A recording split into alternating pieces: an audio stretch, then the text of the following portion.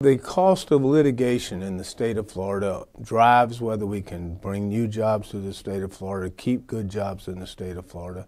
So when we look at the damages in litigation, we need to make sure they're true, not fictional. And so one of the problems we have with the system we currently have in the state of Florida is we're dictating damages based on fiction, not on facts, and that's what we're trying to cure.